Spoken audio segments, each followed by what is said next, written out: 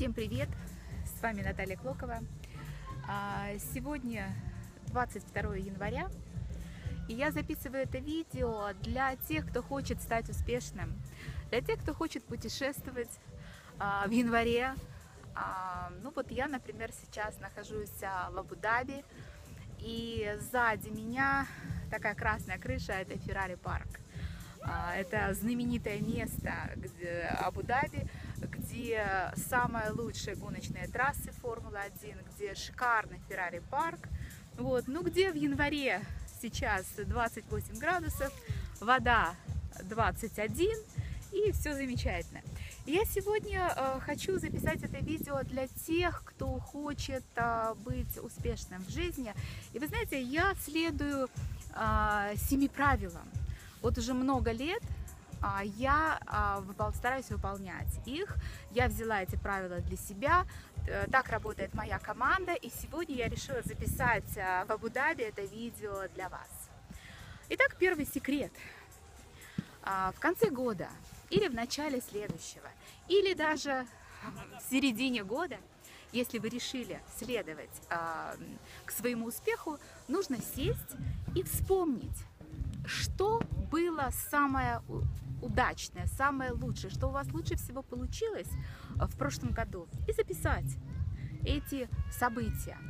И обязательно вспомнить их. И обязательно войти в это состояние, когда вы достигали этих результатов. И э, когда вы будете выполнять это упражнение, вы будете праздновать. Итак, первый пункт – это праздновать. Второе, что вы должны обязательно сделать, это здесь же, подведя черту, написать, почему вы были успешны, что вы такого делали, чтобы это все случилось в вашей жизни. И далее мы переходим ко второму пункту. А второй пункт – это анализ вашей жизни за прошлый год. И обязательно нужно найти э, уроки. Какой самый главный урок в бизнесе вы получили? И второе, какой самый главный урок в жизни вы получили и какие сделали выводы. Третий пункт – это благодарность. Нужно обязательно поблагодарить тех людей, а, которые в чем-то были для вас очень значимы, в чем-то вам помогли или благодаря которым в вашей жизни а, что-то случилось э, и жизнь повернулась к лучшему. Обязательно вспомните этих людей, выпишите их имена и поблагодарите их.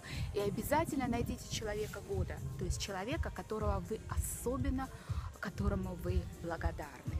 Следующий пункт, четвертый. Нужно обязательно написать свои приоритеты. Что вы хотите, а, в каких а, сферах вашей жизни должны произойти изменения к лучшему. Это может быть бизнес, это может быть личная жизнь, или путешествие, или здоровье, или все это и плюс еще что-то. И в каждом из этих выбранных приоритетов у вас должно быть написано событие, пятерка, как минимум пятерка главных а, событий, которые должны произойти в этом году в вашей жизни.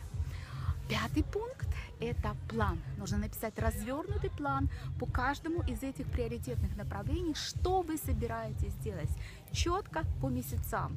А, ваша деятельность, которая будет связана с а, данными действиями.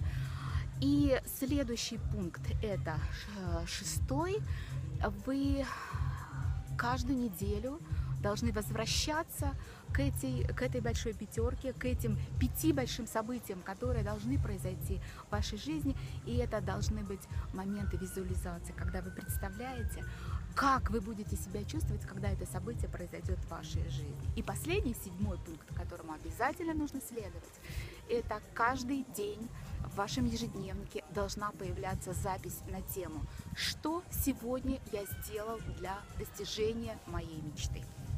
Итак, всего 7 пунктов. И если вы будете следовать этим правилам, вы будете успешны.